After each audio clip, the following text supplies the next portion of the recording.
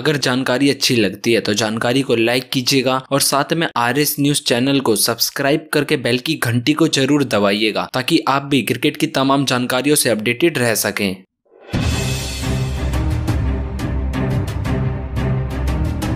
दोस्तों, अगर आप भी राशिद खान को एक बेहतरीन गेंदबाज मानते हो तो आप अभी इस वीडियो को ज़रूर लाइक करना। जी हाँ दोस्तों, जैसे कि आप सभी को पता है कि आईसीसी टी विश्व कप के सेमीफाइनल दोनों ही खेले जा चुके हैं, जहाँ पर पहले सेमीफाइनल मुकाबले में न्यूजीलैंड टीम को जीत मिली थी और वहीं दूसरे सेमीफाइनल मुकाबले में पाकिस्तान की टीम को हार देने के बाद ऑस्ट्रेलिया की टीम ने फाइनल लिस्ट में अपनी जगह बनाई, जिसके चलते फाइनल में अब आप सभी को ऑस्ट्रेलिया और न्यूजीलैंड की टीम आपस में भिड़ती हुई दिखाई देगी। हालाँकि दोस्तों, इसी बीच हम आपको बताएँ कि ऑस्ट्रेलिया और पाकिस्तान पाकिस्तान के बीच में जो रोमांचक मुकाबला खेला गया सेमीफाइनल दो, उस मुकाबले में एक समय पर तो ऐसा लग रहा था कि पाकिस्तान की टीम आसानी से इस मुकाबले को अपने नाम कर लेगी। लेकिन दोस्तों, किसी को क्या ही पता था कि ऑस्ट्रेलिया की तरफ़ से मैथ्यू वेड अंतिम कुछ ओवरों में ताबड़तोड़ बल्लेबाजी कर कर टीम को जीत दिला देंगे। हालाँकि दोस्तों, हम आपको बताएँ कि पाकिस्तान की टीम ने इस सेमीफाइनल मुकाबले में 20 ओवर में चार विकेट के नुकसान पर एक सौ छिहत्तर रन बनाए थे और ऑस्ट्रेलिया की टीम को एक सौ सतहत्तर रनों का लक्ष्य मिला। हालाँकि यहाँ पर 19 ओवर में ही ऑस्ट्रेलिया की टीम ने एक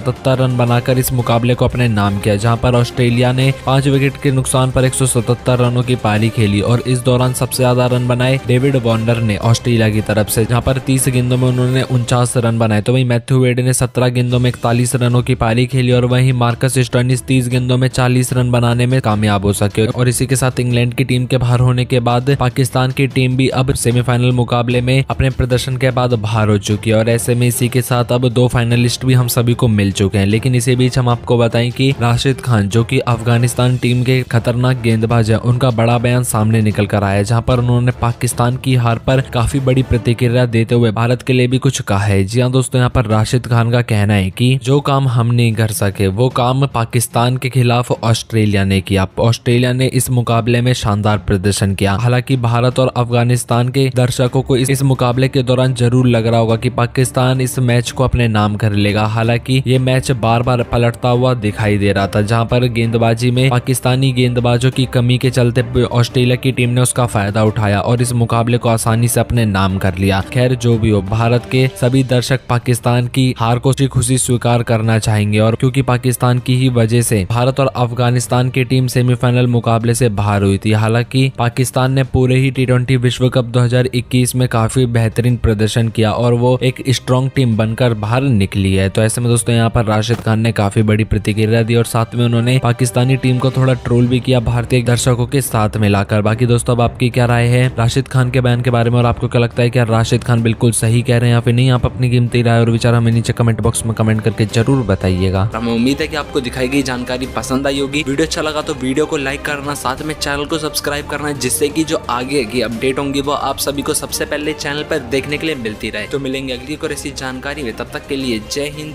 जय भारत।